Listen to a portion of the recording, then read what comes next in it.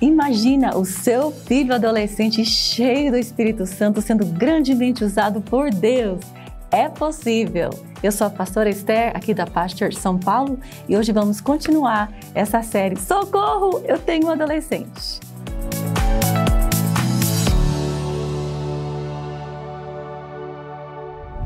Então, no vídeo passado, só recapitulando rapidinho, a gente falou sobre como nós podemos ajudar o nosso adolescente a se apaixonar por Jesus, é sermos exemplos para eles. Então nós nos apaixonamos por Jesus e como que a gente faz isso? Sendo consistente no nosso tempo a sós com Deus, aquele momento tão maravilhoso todos os dias que a gente separa para orar, para adorar a Deus, para nos encher da presença de Deus, né? Falamos sobre como também a gente é, consegue ser, estar sempre cheio de amor, alegria e fé e mansidão, né? Sempre sendo consistente e fiéis no nosso TSD, no nosso tempo a sós com Deus e aprendendo com Jesus, né? Mateus 11 fala: "Aprendei de mim, porque eu sou manso e humilde de coração, e achareis descanso". Então não tem nada mais importante de uma mãe ou um pai dar descanso para os seus filhos, né? Não ser aquela mãe toda estressada, toda é, crítica, falando mal para né, dos adolescentes e dos adolescentes, mas para os adolescentes também não. Não pode, não podemos ser assim.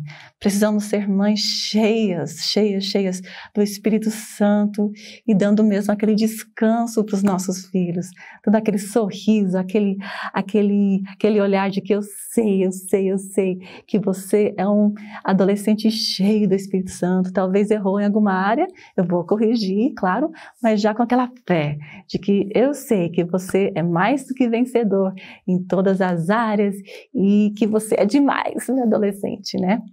Então, isso é muito importante. É, hoje a gente vai falar um pouquinho sobre o culto doméstico, o porquê e como fazer. Então, por que, que a gente faz o nosso culto doméstico? É porque quando vierem as tempestades da vida, se a gente já está ensinando diariamente como lidar com esses problemas, então o adolescente vai estar pronto.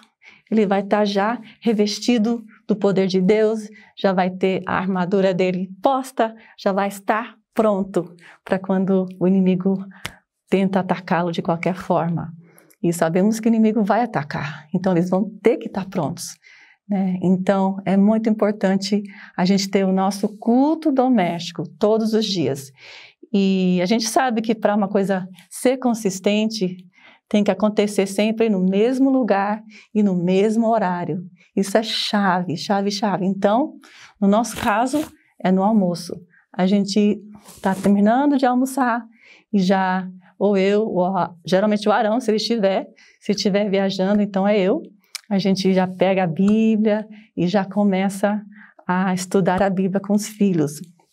Agora, é, Muitas vezes também a gente chama os filhos, não, hoje vai ser você, porque eles são adolescentes já, eles têm o seu próprio tempo com Deus também, né? Então a gente fala, olha, hoje você vai compartilhar o que você aprendeu no seu TSD, o que Deus falou com você. Aí eles ficam todos empolgados, não, eu vou falar o que Deus falou comigo, né? E eu lembro que meu pai fazia isso comigo quando eu era adolescente. E eu ficava, ah, hoje eu vou pregar, vou pregar para os meus pais. Mas, assim, sempre é, de uma forma maravilhosa, o que foi que Deus falou comigo no meu TSD. Então, a gente dá essa oportunidade para os nossos filhos. Às, às, vezes eu dou, tipo, um, um, tipo, olha, amanhã você que vai dar a palavra, tá? O Joshua, ou Cristina, ou Amanda, ou Abraão, amanhã é sua vez, tá? Aí eles vão, preparam, preparam, e aí eles dão a palavra.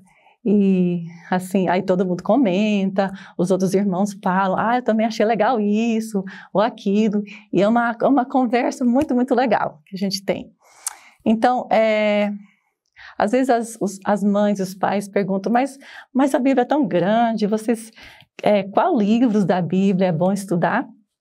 Um, um, livro que a gente estuda muito, muito, muito, muito é Provérbios.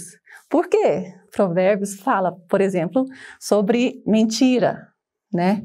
Fala como a mentira empodrece os ossos, né? Quando a pessoa esconde o pecado, ela realmente vai morrendo por dentro, né? É, é bem ilustrativo, é bem legal, é bem bom, bem bom, bem legal para os adolescentes verem antes que né, venha a tentação de mentir, por exemplo. É, fala também da mulher adúltera e como o homem que é simples, que não sabe melhor, que vai vai deixando se seduzir da mulher adúltera, como ele acaba morrendo, vai para a morte. Provérbios fala que ele vai vai para a morte mesmo. Então, é, também fala sobre amizades ruins. Olha só, amizade é tudo, né, para adolescente. Então, que o adolescente precisa saber escolher amizades. Ele não pode só, ah, qualquer pessoa que, que gosta de mim pode ser meu amigo. Não, não, não, não, não. Amizades influenciam muito, né? Então, é, para o adolescente ter essa consciência de que quando ela está na escola, no colégio, né, que ela vai ter cuidado de quem que ela, claro que tem que ser amigo para todos, mas, mas, os, mas as amizades íntimas, né, que tem que ter muito, muito cuidado. É, também fala sobre fofoca. Não, Provérbios fala sobre muitas e muitas coisas maravilhosas. Então a gente faz muito Provérbios, mas também a gente faz muitas epístolas, como Filipenses, Colossenses, né, onde o Paulo está falando com os filhos espirituais dele, né? Então ele está falando tantas tantas coisas, tantos tesouros de como estar cheio do Espírito Santo, de como ser usado por Deus, de como ser humilde, né? Como Deus resiste à soberba, por exemplo, mas dá graça aos humildes.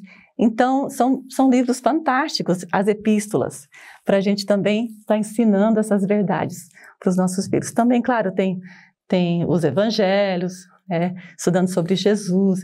Ah, não, tem, é, muitas, é muitos livros maravilhosos que você vai escolher para fazer o seu é, culto doméstico com seu filho.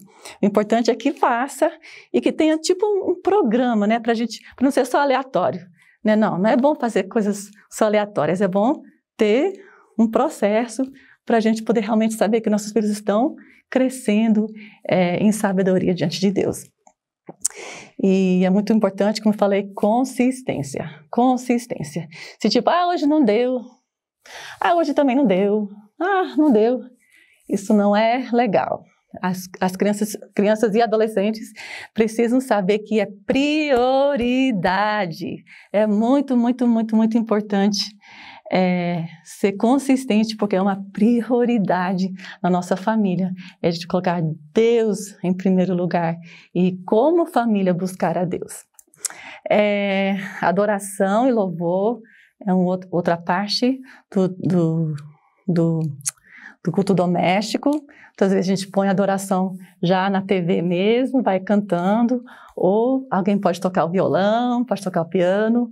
É, é uma coisa muito legal também de fazer. É, mas o, o, o, importante é, como eu falei, consistência. E a última coisa também sobre o culto doméstico é que no final a gente ora, começa com o mais novo e vai até o papai, que é o mais velho.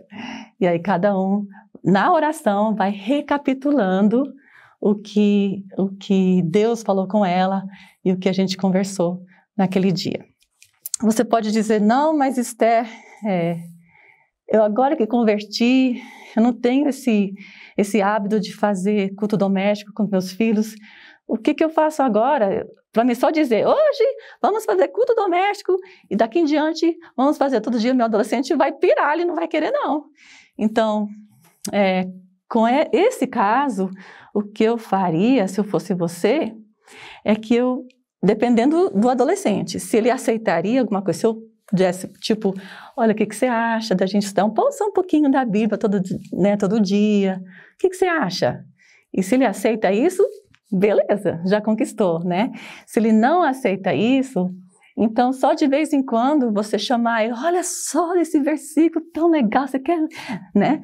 Olha, talvez, talvez o seu adolescente está tá ansioso sobre alguma prova, alguma coisa, aí você já vai lendo um versículo para ele sobre é, como a gente pode lançar todas as nossas ansiedades a Deus, porque Ele cuida de nós.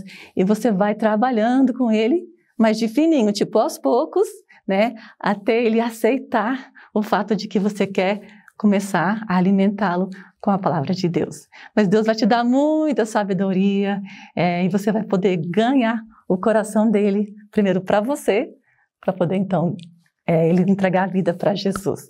Mas enfim, na próxima vez, no próximo vídeo, eu vou dar outra dica maravilhosa de como você pode conquistar o coração do seu adolescente se ele estiver resistente, não querendo muito de Deus. E isso vai ser muito precioso para você na próxima.